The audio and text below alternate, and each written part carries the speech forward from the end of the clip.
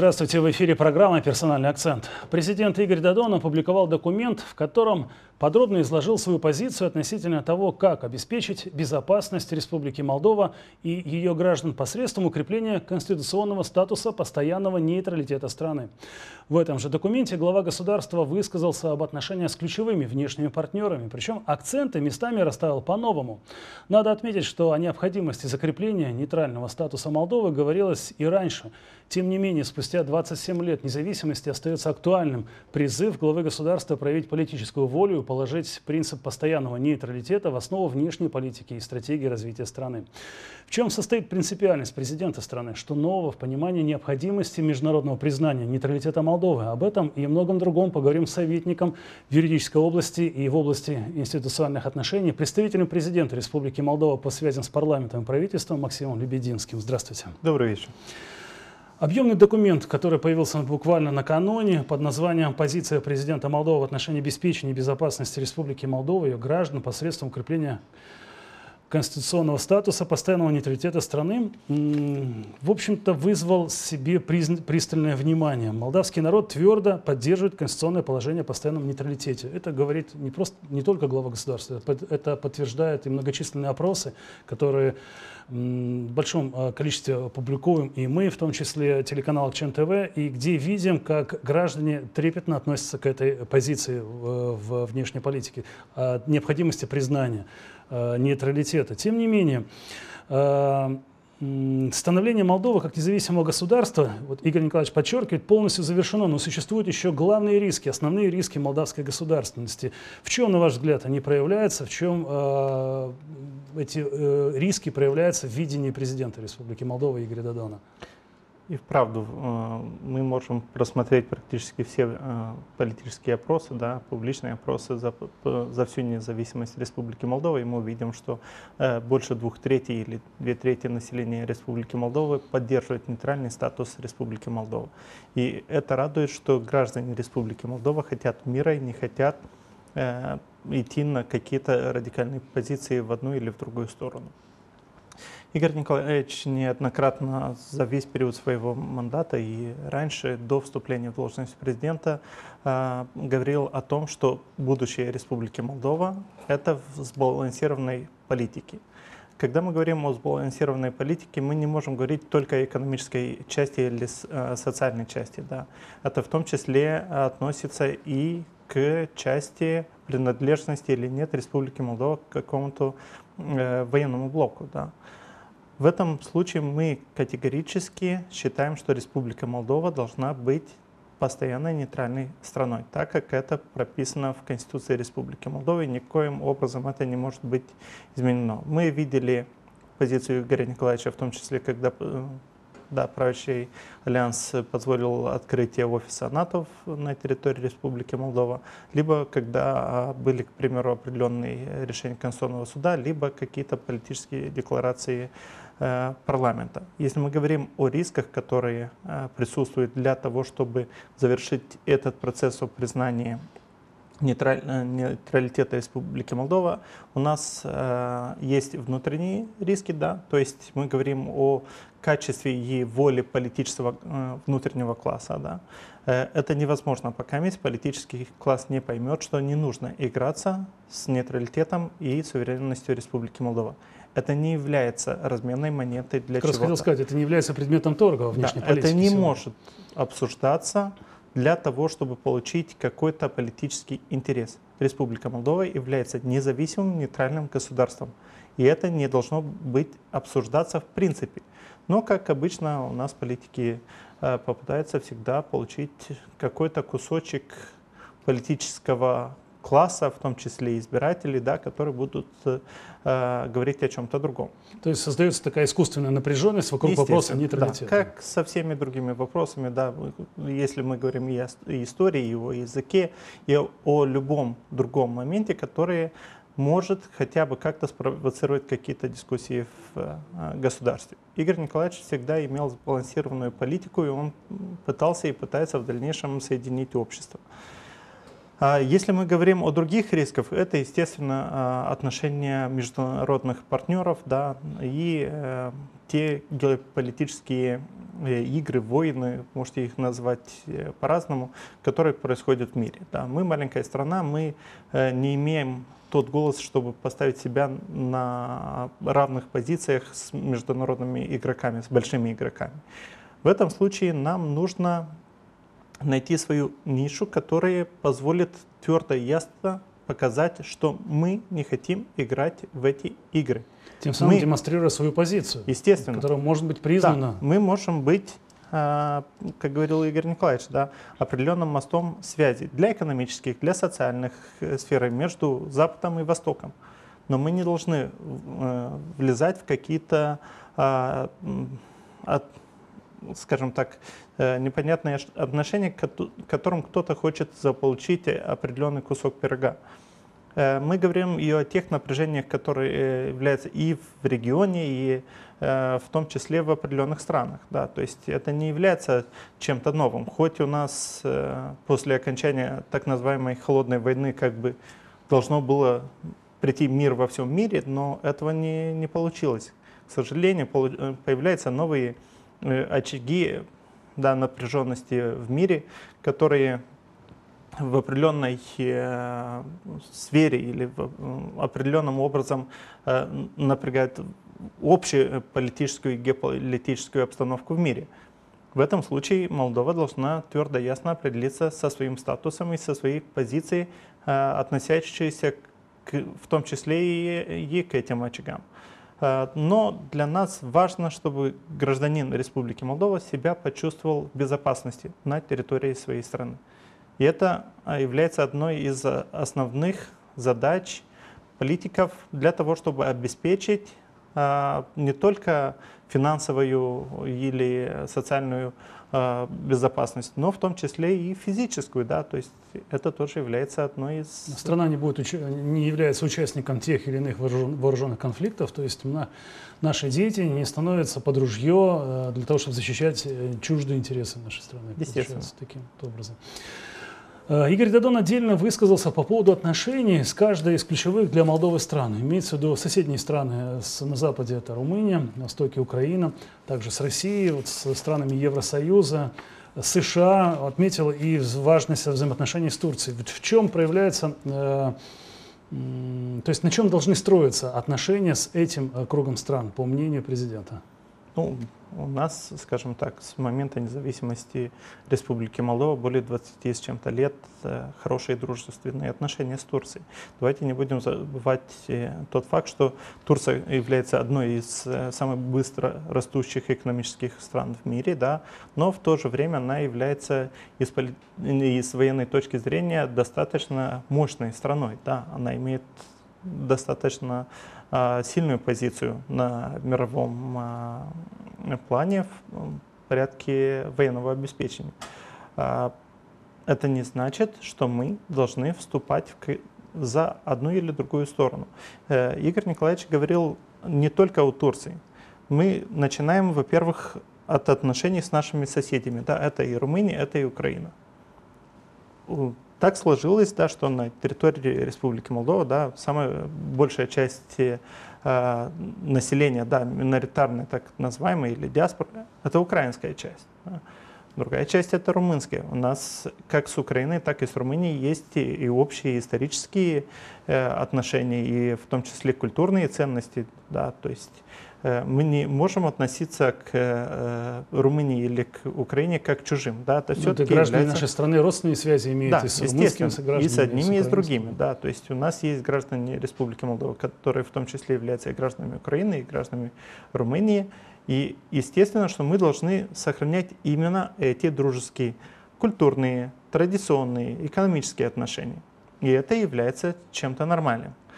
С Россией, да, который том числе является одной из компонентов да, э, решения Приднестровского конфликта 5 плюс 2, естественно, что она имеет очень важную роль. Да, помимо того, что у нас сотни э, лет исторических отношений с Румынией, да, где-то более положительные, где-то более отрицательные, но это политики делают что-то либо более светлым, либо более темным. как наш статус да, нейтралитета зависит Э, от Российской Федерации, так он зависит в том числе и от Европейского Союза, и от э, Соединенных Штатов э, Америки. Да, это самые важные, скажем так, международные игроки, да, которые хотим или не хотим, но мы должны будем добиться в том числе подтверждения этого статуса и от них. Да, мы надеемся, что, во-первых, наши соседи как-то нам а, помогут в этом, да, и первыми, может, выступят в поддержку и признанию а, постоянного нейтралитета Республики Молдова, но мы, естественно, должны работать на общее признание с большинства стран. Да, если мы говорим о том, что а, Республика Молдова как независимое государство признали более 150 государств, соответственно, и статус нейтралитета мы должны работать на то, чтобы его признали больше всего государства, так как это сделали другие государства, которые на данный момент имеют э, этот признанный статус. Э, если мы говорим о, об отношениях с НАТО да, или с другим, любым другим э, военным блоком, да, это никоим образом не должно быть связано с какими-то обязанностями, взятыми на себя Республики Молдова. Единственная наша международная обязанность э, военной э, области должна быть то, что мы не влезаем ни в какие конфликты. Да, и, соответственно, мы требуем а, не, не только признания, но и а, респектария, да, извините. Уваж, уважительного отношения, да. Уважение наших прав, да, как нейтральной страны. Это, естественно, наши законодатели, да, из первого парламента, они были более, э, более мудрее, наверное, чем нынешние политики. Да. Они попытались сделать э, сбалансированный э, текст Конституции, да, в том числе и с языком, и с нейтралитетом, для того, чтобы соединить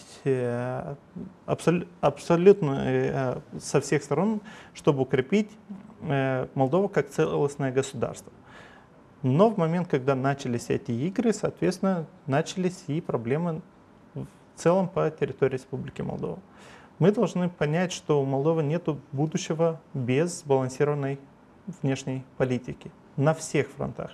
Это не важно, что мы хотим делать. Мы должны это делать, э, взглянув в будущее вообще. То есть это не должен быть шаг на полгода или на год, или на один мандат парламента, да, 4 года, к примеру, или один мандат президента. Мы говорим и о нашем будущем, и о будущем наших детей, внуков и так далее. То есть получается нейтралитет – это как раз именно тот момент, который может консолидировать политический класс, стать государствообразующим моментом. Но вот как приблизить перспективу вот этого признания, международного признания нейтралитета, ведь э, э, он вызывает определенное напряжение, например, внутри страны. Ведь есть партии, которые ратуют за то, чтобы мы активно участвовали, например, в э, каких-то программах НАТО, чтобы мы активно сотрудничали с этим военным блоком. Возможно, есть какие-либо еще идеи в политическом сообществе, но тем не менее, ведь как раз при, внешнее политическое признание нейтралитета Республики Молдова отметает все это. Это, это первое. Во-вторых, оно придает э, больше уверенности в стабильности развития Республики Молдова. Здесь легче планировать финансовое будущее, семейное, социальное будущее, когда ты знаешь, что страна не будет вовлечена в какие-то международные конфликты.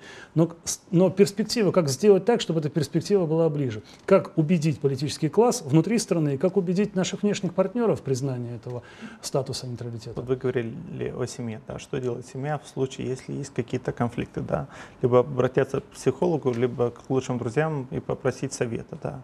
И одни и другие посоветуют, разберитесь между собой, да, поговорите о ваших проблемах, выскажите то, что вам не нравится, или придите с конкретными аргументами. Республика Молдова – это большая семья. Что нам нужно сделать, чтобы определиться с конкретным моментом? Нам нужно обсуждать это. Обсуждать открыто, да, честно. Мы должны понимать и говорить о том, что нужно Республике Молдова. И твердо, и да, по-взрослому оценивать абсолютно любой шаг, в том числе и в перспективы на многие-многие годы вперед. А если кто-то имеет какие-то другие мнения, не проблема. К примеру, да, вот последняя конференция по нейтралитету, которая была Были специалисты э, международного класса, да, в том числе, из, насколько я знаю, из Австрии, из Украины, из Российской Федерации, из других стран, да, которые говорили об этом, да, и большинство считает, что это одно, является одно а, из возможностей Республики Молдова утвердиться да, как самостоятельному государству. Что нужно сделать, если у тебя другое мнение? Да? Но ты аргументируй. Давайте поставим открыто да, карты на стол и посмотрим, что дает Республике Молдова статус нейтрального государства и что дает Республике Молдова а, статус члена какого-то военного блока. Да Без разницы. открываются, да, то есть наоборот закрываются. Вопрос в том конкретно, что выигрывает и проигрывает Республика Молдова как государство, что получает или э, теряет граждане Республики Молдова в одном и в другом случае. И давайте будем думать, давайте будем выбирать.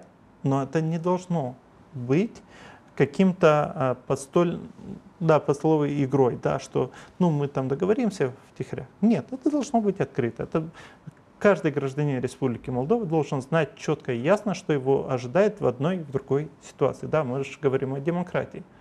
И политический класс, мне кажется, тоже должен, кроме ответственного подхода к этой теме, должен э, просчитывать, что в итоге мы получаем. Ведь, мне кажется, здесь, вот для меня, как э, гражданина Республики Молдова и журналиста, достаточно очевидно, что участие в тех или иных военных каких-либо программах, блоках, союзах грозит нам только лишь, ну, знаете, депопуляцией страны. Потому что, если спросить просто среднестатистического сегодня нашего с вами согражданина, хочет ли он воевать, хочет ли он участвовать в каких-то военных программах, мне кажется, большинство людей, э, даже не то, что кажется, я уверен, выскажутся в ином. Мы хотим мирно трудиться, мы хотим э, достоин, получать достойную возможность достойного проживания на родине, у себя в стране. Ведь, например, э, то, что сейчас многие граждане уезжают на заработки в другие страны, говорит о том, что наша экономика перекошена. Практически она строится несколько будем э, говорить, так сказать, не на тех принципах, на которых должна строиться экономика суверенного государства. То есть мы не развиваем свою промышленность. То же самое во внешней политике. Если мы придерживаемся собственных принципов,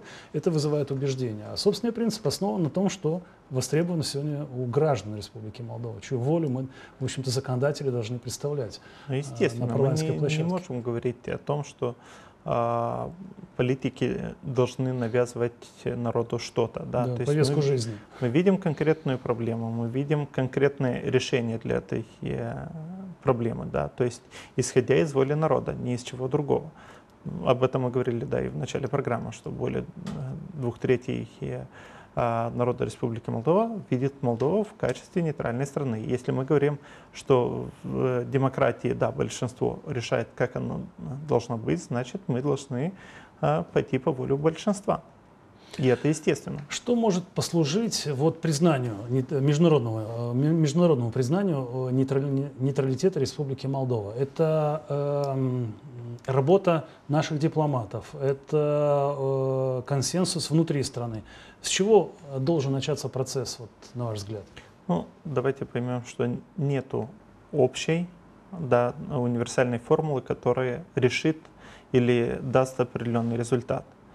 А действия конкретные, то есть совокупность действий, скажем точнее, да, они должны э, устанавливаться исходя из конкретной политической повестки внутренней и внешней на конкретный момент, исходя из конкретных отношений.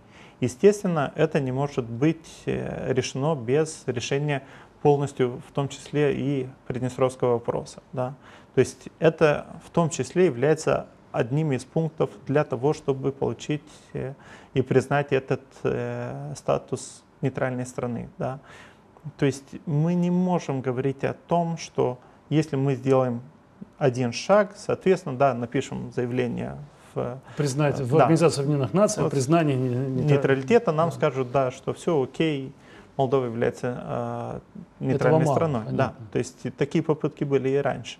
Э, естественно, это одна из задач будет наших э, дипломатов, да, в том числе и в тех странах, о которых мы говорили, или в тех союзах, да, э, в том числе и в Европейском Союзе или и в РЗС, мы должны получить общую поддержку да, на мировой арене в том, что да, будущее Республики Молдова, оно возможно в качестве нейтрального государства. Никто не должен лезть в их внутренние дела, и, соответственно, Республика Молдова не лезет э, в отношения других стран. Есть определенные э, рамки для сотрудничества, да, которые должны быть соблюдены абсолютно всеми сторонами. И это что-то нормальное. Да, то есть э, мир по-другому не может работать на, на этом этапе. Все, уже время викингов да, и средневековья, оно закончилось. То есть применение силы, оно в нашем случае, оно равно нулю. Сейчас есть ну, абсолютно другие войны, информационные, есть те, не знаю, да, те же летальные оружия, которые, не дай бог, в этом случае Республика Молдова вообще ничего не решает.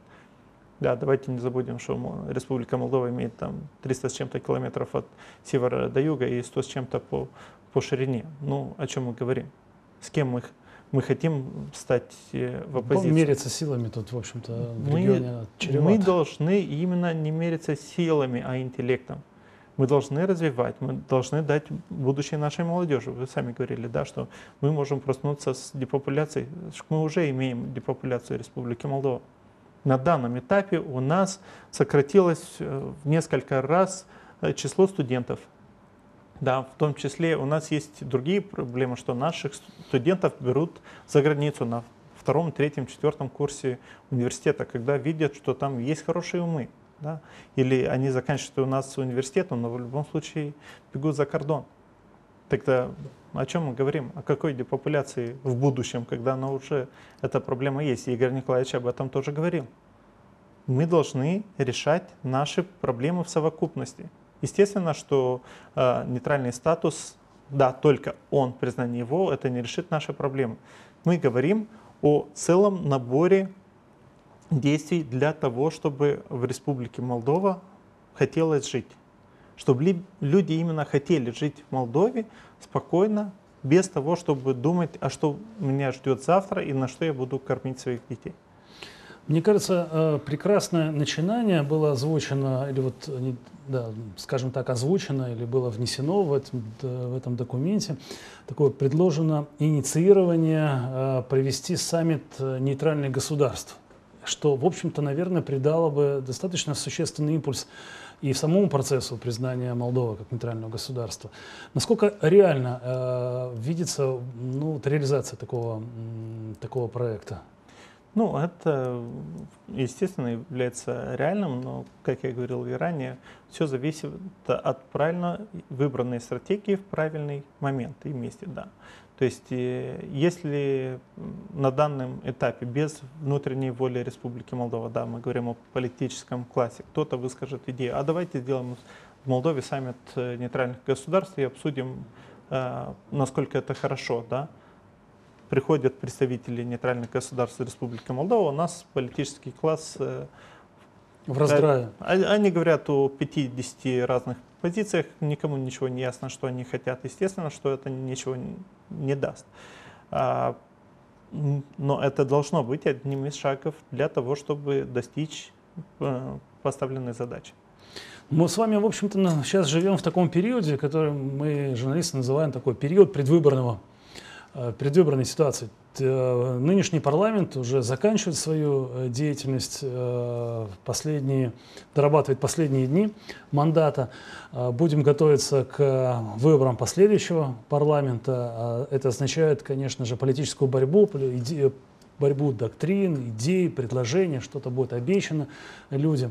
Но мне кажется, даже это мое, в общем-то, видение вырастает в уверенность, что принцип нейтральности, который бы э, был бы прописан в тех или иных политических доктринах, был бы таким, знаете, двигателем, мотором, наверное, и э, движение к избирателю. Потому что э, если правильно объяснить э, гражданину Республики Молдова, что это не просто пустой звук или какое-то красивое выражение, вот, э, нейтралитет Республики Молдова, что это э, выражение может облечь, быть облечено в какую-то практическую вещь, э, которая обретает приобретает, знаете, и вид документа, и вид того, что это привносит какие-то стабильность в финансировании Республики Молдова.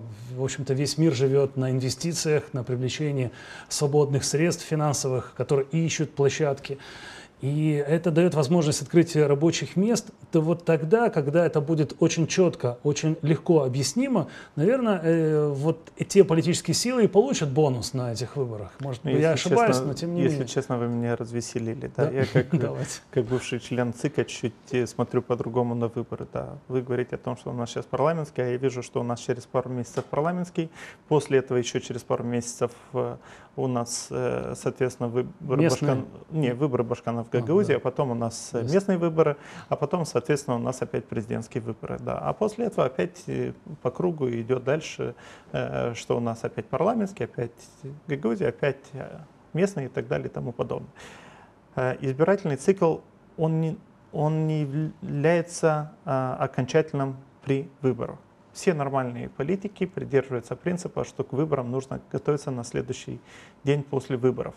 Только глупые политики будут делать какие-то конкретные действия непосредственно в последний момент, на, посло, на последние 100 метровки. Да.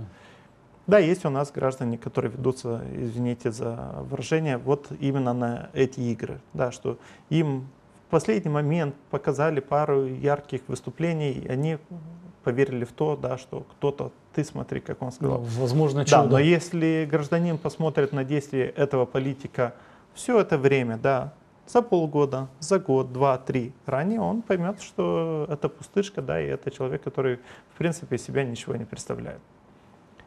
Нормальные адвокатные политики, они имеют строгую повестку, по которой они идут. И они не идут для того, чтобы показать что-то перед выборами. Это является конкретным планом действия своего видения и воплощения этого в жизнь.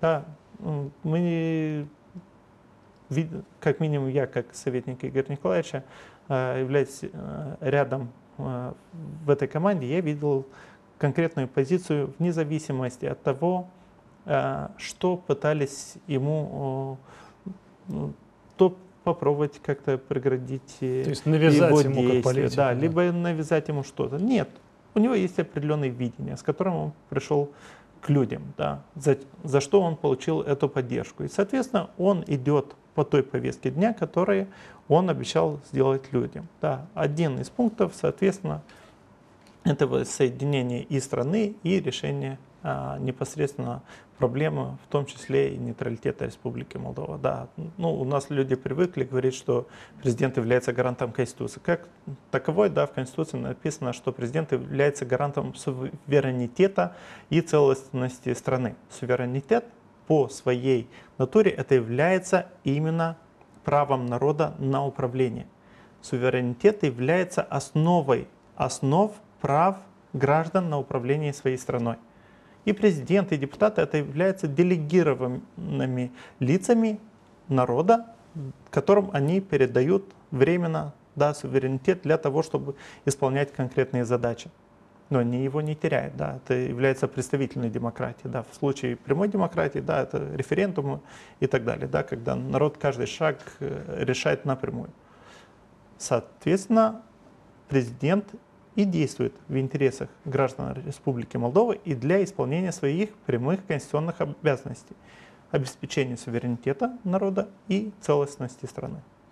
Получается, что нейтралитет Республики Молдова – это, наверное, одна из граней суверенитета в таком случае. То есть, или же это может быть ошибочным мнением? Суверенитет – это отдельная позиция. Нет, суверенитет – это не грань, это основа. Это основа государственности государство без суверенитета это не является государством не является государством. Да? Когда мы говорим о том, что какая-то страна зашла в Европейский Союз, да, она в этом случае теряет часть своего суверенитета и передает право управления, соответственно, да, к примеру, европейскому органу. Но в случае независимого государства полное право решения проблем на э, территории своей страны принадлежит этой стране. Вот только в этом случае страна в действительности является независимым и в действительности может попробовать признать себя нейтральной, так как это указано и у нас в Конституции. Э, ну, в итоге, в общем-то, э, стартовая позиция для реализации проекта по признанию, международному признанию нейтралитета Республики Молдова, конечно, находится внутри страны. То есть это должен быть внутриполитический консенсус, это решение, наверное, и территориальных проблем, а именно ну, нашей так сказать, раздробленности, э, решения Приднестровского конфликта. А, здесь э, в чем, ну, мне кажется, в чем главное видение? Что прежде всего необходимо решить, по мнению э, Игоря Дадона, для того, чтобы, ну, в общем-то, начать путь в направлении международного признания нейтралитета? Если мы говорим о, э, о Приднестровской проблеме, да, в общем, ну, естественно, опять мы говорим о политической воле с обеих сторон, сторон Днестра. Это естественно, да. То есть э, эта проблема не может решиться без воли одной или э, другой стороны. Это должно быть общее согласие на общих принципах, да, которые принимаются а, обеими сторонами. Это должна быть э, признанная поддержка а, от партнеров с формата 5 плюс 2, да, которые, ну, хотим или не хотим, они должны высказаться и хотя бы большинством из них признать и поддержать это. Да, мы говорим и в том числе и о поддержке со стороны Российской Федерации, Украины, Румынии, а, Евросоюза, Соединенных Штатов. Почему нет нету общей формулы. Да, Игорь Николаевич очень много говорил об этом практически на всех э, своих конференциях. Да, журналисты пытаются э, понять, какова видение и стратегия. На данный момент, слава богу, за полтора года получилось сдвинуть с места а, решение многих проблем, которые до сих пор, почти 10 лет, ну, никто вообще ими не занимался. А, были многие встречи между Игорем Николаевичем и, соответственно, Вадимом Красносельским. То, что в том числе помогло да, к решению сторону, определенных да жизненных проблем да, граждан, потому что граждане, которые живут за Днестром, с той стороны, это являются гражданами Республики Молдова. Мы имеем там э, официально более 220 тысяч избирателей. Это люди, которые имеют совершеннолетние. Но есть еще их дети. Это, это очень большая часть граждан Республики Молдова, которые жили и живут там. Если мы говорим э, вообще о, о том, как можно достичь этот нейтралитет? Ну, это, во-первых, э, сбалансированная э, новая э, стратегия или новая концепция внешней политики. Ну, без этого мы никак никуда не сдвинемся, да, то есть мы говорили то с есть вами нужно ранее, разработать новый документ, получается, естественно, над которым... это должно быть полностью новый концепт для внешней политики, как мы говорили, сбалансированный, который не будет вовлекать Молдову в какие-то игры. Молдова должна дружить и с Западом, и с Востоком, и с Китаем, и с Бразилией, с кем угодно, для того, чтобы исходить из нашего национального интереса. Вот что у нас должна быть задача номер один. Национальный интерес.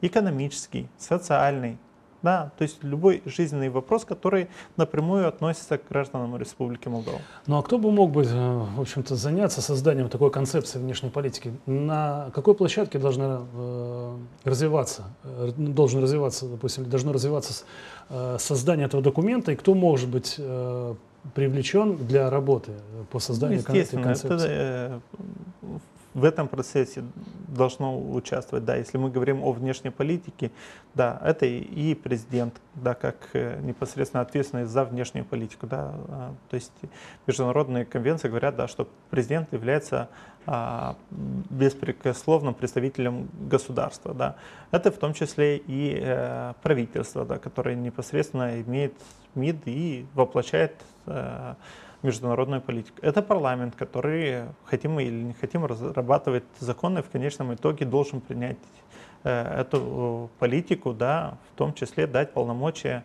и президенту, и правительству для воплощения этих задач.